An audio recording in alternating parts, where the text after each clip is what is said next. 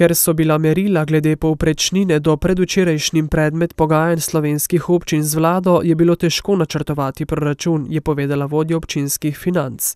Polovico, kar 9,6 milijona evrov, je rezerviranih za družbene dejavnosti, od tega 4,5 za naložbe. Teža investicij se seli na družbene dejavnosti, se pravi na energetsko sanacijo šolskih objektov, pa seveda najbolj intenzivna gradnja osnovne šole Tržišče je v letu 2015, ki se je začela v lanskem letu, zato moramo tudi vse sile napeti in dati vsa razpoložljiva sredstva od novega kredita, ki ga načrtujemo v višini ena cela dva milijona. Skupaj ima občina štiri cele štiri milijona evrov dolga, to je dvesto petdeset evrov na prebivalca. Nižajo se državna sredstva za občinske naložbe, opredeljene v enaindvajsetem členu zakona o financiranju občin. Prvotno so predstavljala šest odstotkov primerne porabe vseh občin v državi, kar je za Sevnico pomenilo šeststo sedemdeset tisoč evrov.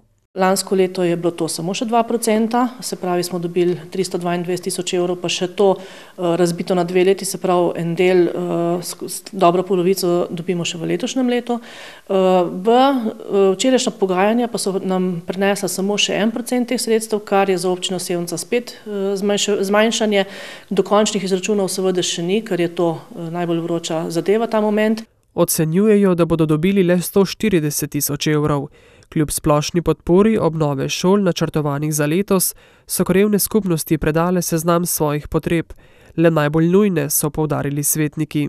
Pričakujemo, da bojo vsaj te izpolnjene in seveda leto je hitro mimo in pričakujemo, da bo se ta struktura porabe občinskega proračuna v letu dva tisoč šest zopet prevesila v tisto smer, kjer bomo krajevne skupnosti tudi kaj več dobili. Potrebe so v glavnem na infrastrukturi, kot je popravilo mostov, cest, vodovodov in kanalizacije.